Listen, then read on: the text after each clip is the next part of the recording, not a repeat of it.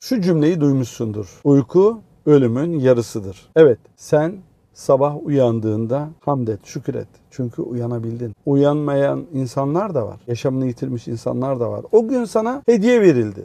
O günü nasıl değerlendiriyorsun? Sabah kalktığında cep telefonu nasıl %100 enerji dolu üzerinde yazıyorsa senin de %100 enerjin var. O gün sana hediye edildi ve %100 enerjin var. O enerjiyi nereye harcıyorsun? Otomatlar var üzerinde arızalı yazıyor. Arızalı olduğu halde oraya para atan insanlar gibi sen de arızalı işlere, arızalı insanlara enerji mi harcıyorsun? Malayani işlere zaman mı harcıyorsun? Bu soruyu kendine sor. Eğer çabuk tükeniyorsan, yoruluyorsan, enerjin yoksa, hevesin kalmadıysa o zaman bil ki sen arızalı otomatlara para atar gibi arızalı işlere, arızalı insanlara enerji harcıyorsun. Harcadığın enerjinin karşılığını almıyorsun. Para attığında otomattan nasıl karşılık gelmiyorsa sen de bir işe enerji harcıyorsun veya bir insana enerji harcıyorsun, yatırım yapıyorsun ama bir sonuç alamıyorsun. Sana bir geri dönüşüm yok. O iş arızalı iş. Boşa enerji harcıyorsun o işe. Karşılık alamıyorsan, seni ileri götürmüyorsa o iş, o iş arızalı, sana karşılık vermiyor.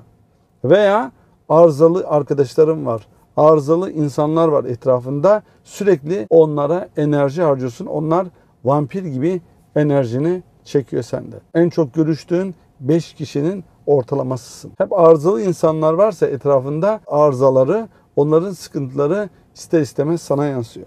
Sen de onlar gibi oluyorsun. Sana verilen hediye her gün bir yaşam, bir hayat veriliyor sana. Her gün uyanıyorsun. Şükür et haline ve onu çok güzel değerlendir. Onu faydalı, seni ileri götüren sağlam işlere yatır. Sana geri dönüşü olan, faydalı olan meşguliyetlerle meşgul ol. Seni ileri götüren sağlam arkadaşlarını seç yoldaş olarak. Onlarla ilgilen, onlarla beraber ol. Bir insana Hazreti Allah kötülük murad ederse onu mala yani işlerle meşgul edermiş. Yani boş işlerle. Hiç ileri götürmeyen.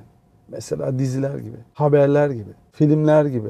Büyük bir kısmı öyle. Sadece enerjini tüketiyor. Bazı filmler var. Rejisörlerin sapkın düşünceleri filme yansımış. Seni hiç ileri götürmeyecek. Yani tercihini ona göre yap.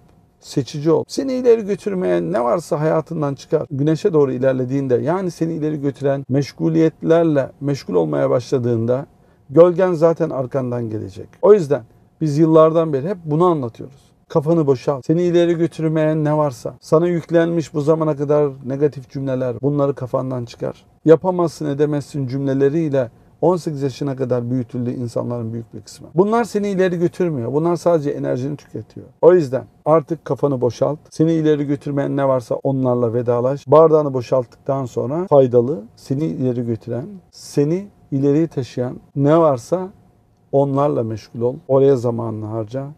Amaçlarını yaz, gözünün önünde olsun ve hedeflerine doğru adım adım ilerle. Seni ileri götüren YouTube videolarımızı izleyebilirsin. Senin için 970 tane YouTube videosu var. Ve Instagram'da en az 500 tane video da orada var. Onlar seni ileri taşıyacak. Onlarla meşgul ol. Biraz daha detaylı mentor eşliğinde ilerlemek istiyorsan o zaman bizim online eğitimlerimize bir an önce katıl ve hayatını israf etmekten kurtul. Kendini bil ki ömrün zayi olmasın buyuruyor Peygamberimiz.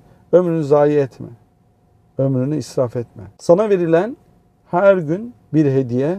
O günleri israf etme. O enerjinin, o günün kıymetini bil. Eğitimlerimizde görüşmek dileğiyle. Hoşçakal.